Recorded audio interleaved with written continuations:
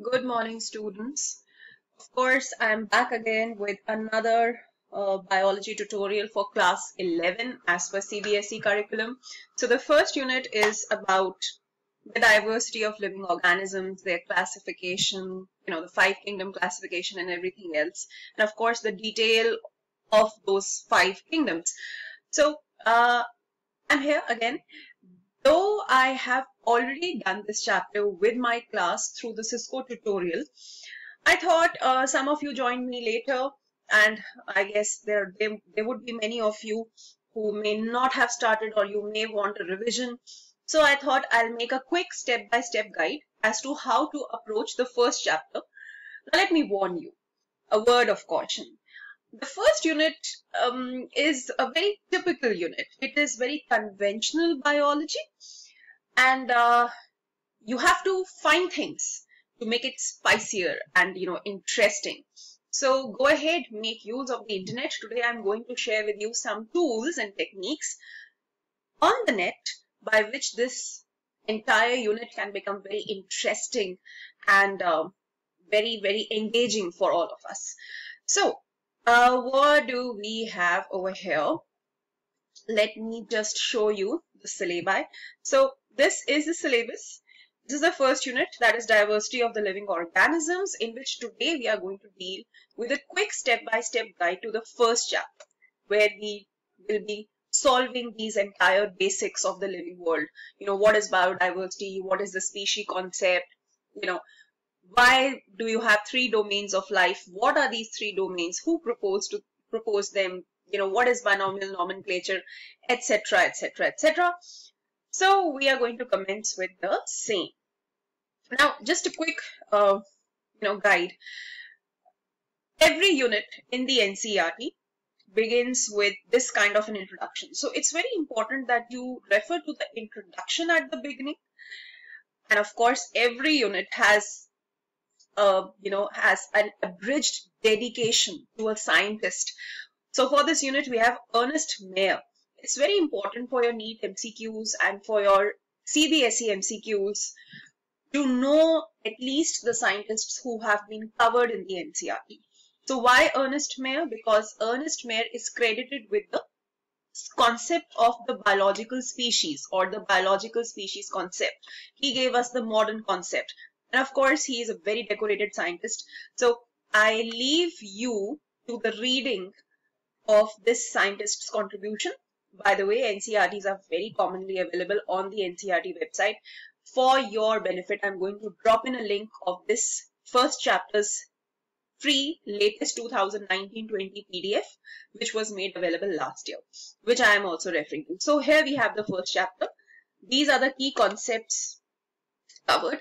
Another approach to any NCERT chapter could be that instead of starting with the chapter from the beginning, whenever you are doing your self-study, it is always better to go down to the end of the chapter, like I'm scrolling over here, and you know, you find a, a very precise summary.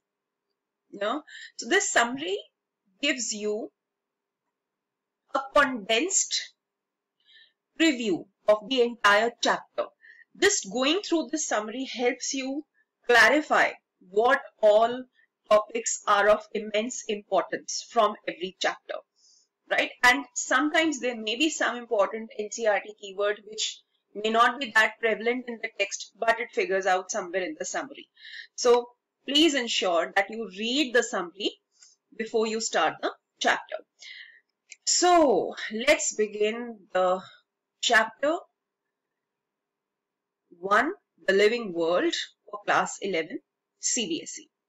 Of course, the first paragraph is about how complex and how beautiful the living world is and how the dynamic balance is there but very delicate. So what do you consider as living? How do you define some organism to be living or with something as with life? So conventionally, you are looking for some distinctive characteristics which are mentioned over here. So I am going to mark it very quickly over here for you So the text tells you that living organisms grow, they can reproduce, they have the ability to perceive and sense any changes in their external environment and then respond towards it.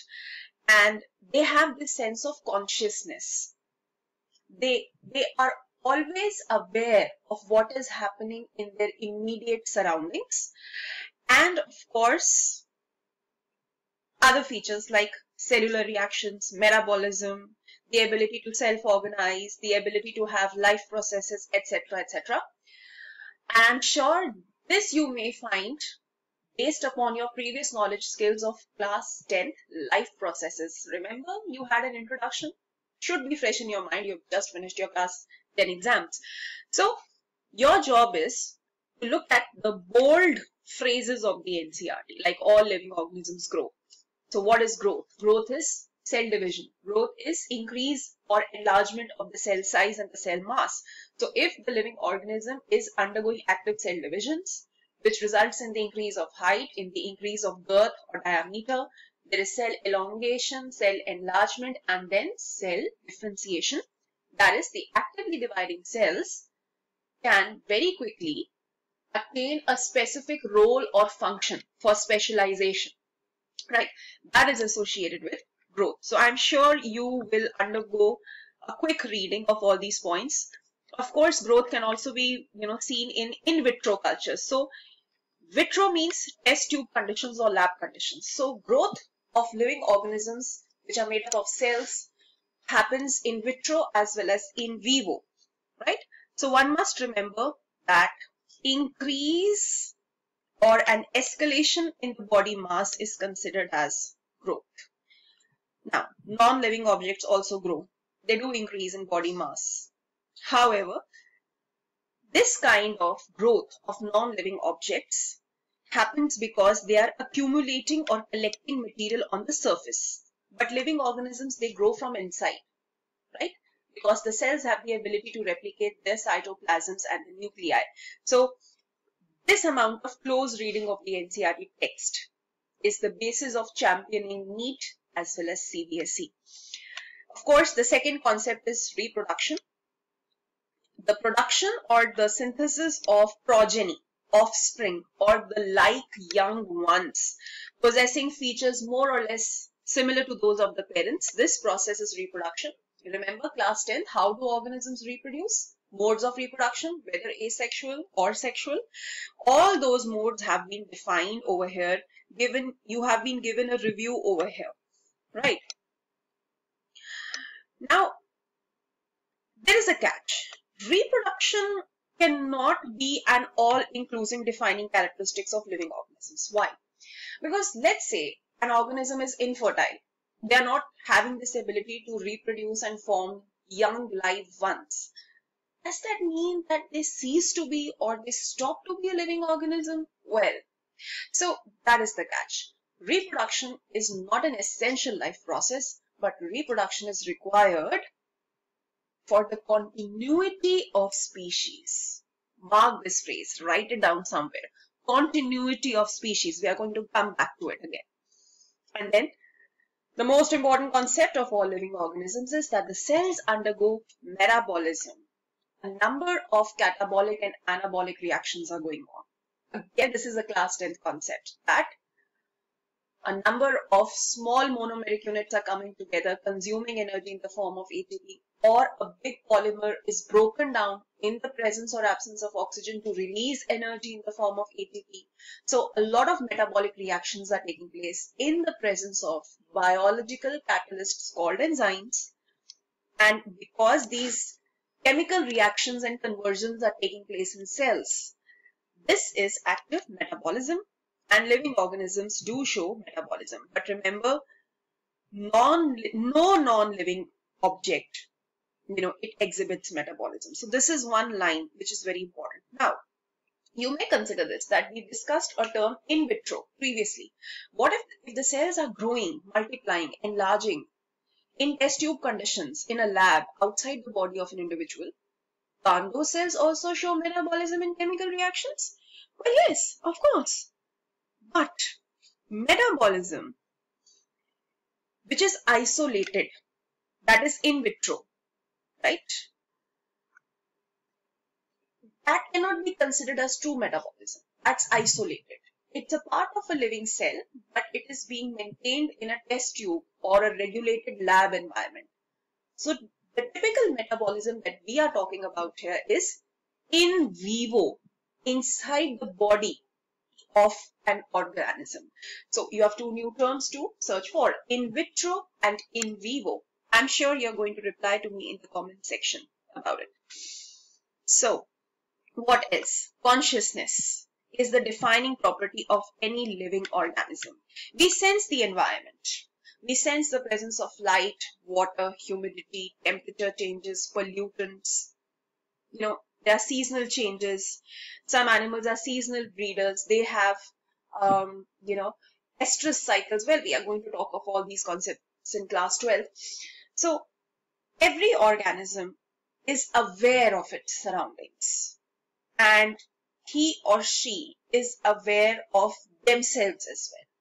This is consciousness. This ability to think, to be aware of. This is consciousness. So, uh, we can, you know, just leave this to you that you can just quickly go through all of these points. So, I would just bring you to the crux that biology is the story of life on earth and it is the story of evolution of living organisms on earth past present and future. So biology is a very dynamic subject. Always break the terms in bio.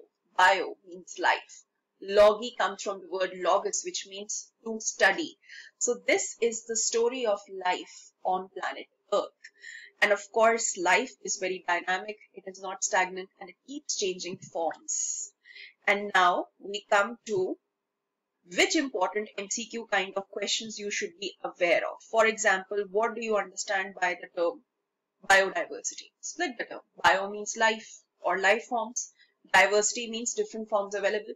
So it is the sum total of all the organisms present on earth. Now, this NCERT is a 2019-20 edition, as you can see. However, they have given the described range of 1.7 to 1.8 million. So now I'm going to give you a comparative figure over here.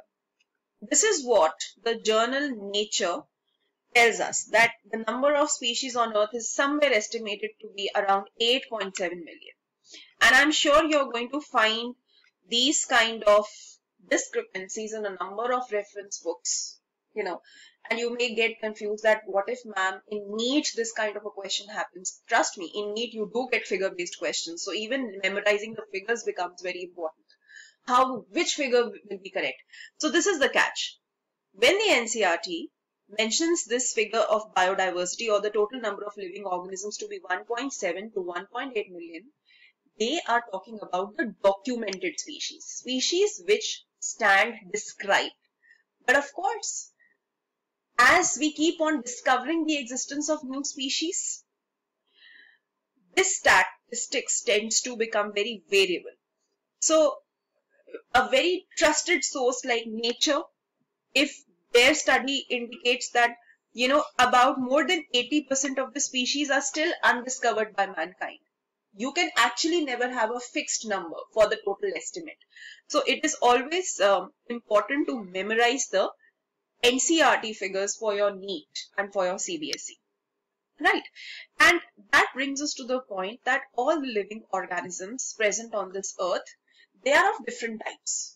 But they must be showing some similarities with respect to each other again. So in the coming class, I'm going to discuss about the concepts of species, nomenclature, taxonomy, and a lot of taxonomical aids and tools. And that is going to be the tough part. So I end this brief class at this point and I will share another lecture with you soon. Take care.